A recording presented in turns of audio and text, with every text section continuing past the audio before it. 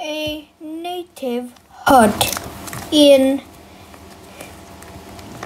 a neighborhood, a native hut gathering in Windigo, USA.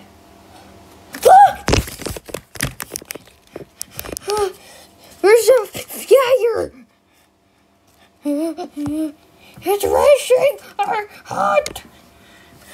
Wait. Okay. Oh, yum. Uh, uh, it's fire in here. Why can't you call 911? Oh, they're closed on Wednesdays, remember?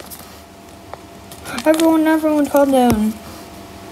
There's fire in this room! Tobe continued.